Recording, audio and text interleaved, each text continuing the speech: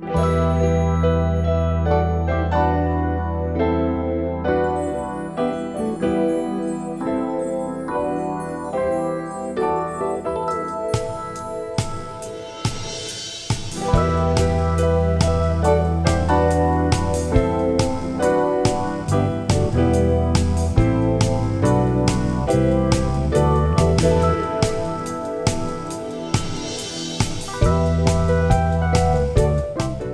Je jedan put uh, u saobraćajnoj mreži crnogorskih puteva zaslužuje epitet puta prijateljstva ili jedinstva, to je upravo ovaj regionalni putni pravac R29. Danas smo čuli i od ministarke saobraćaja, ali i od mnogih uh, uh, političkih partija da su u prethodnom periodu svi oni dali određeni doprinos za početak realizacije ovog vrlo značajnog projekta i ja im se svima zahvaljujem ali upravo e,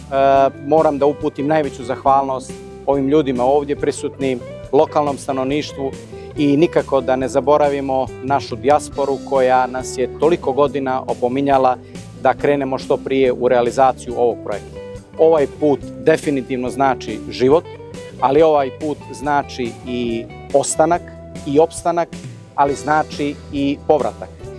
Prvi konkretni koraci su napravljeni 2019. godine kada je nastupila e, prekategorizacija do tada lokalnog putnog pravca u regionalni putni pravac koji je dobio službenu oznaku R29. 2020. godine opština Bar i opština Ulcin su zaključile poseban sporazum s upravom za saobraćaj gdje smo se kao lokalne uprave obavezali da ćemo obezbijediti sredstva za ekspropriaciju zemljišta što smo i učinili, a sa druge strane dali maksimalan doprinos prilikom poslednjih faza e, projektovanja ove trase koja će zasigurno omogućiti lokalnom stanovništvu kvalitetnije uslove života, našoj dijaspori da se češće vraća svom rodnom kraju, a mnogim turistima koji koriste upravo ovu najkraću dionicu kako bi e, putovali ka susjednoj Albaniji,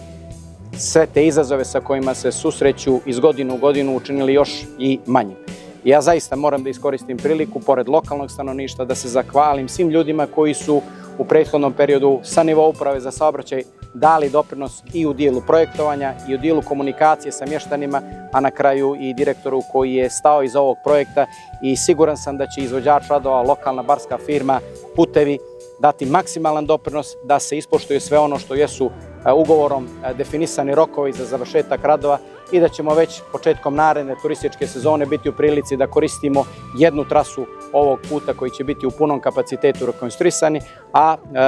dalje pratiti sve ono što su preostali dijelovi realizacije ovog značajnog putnog pravca za opštinu Bar i za lokalno stanovništvo.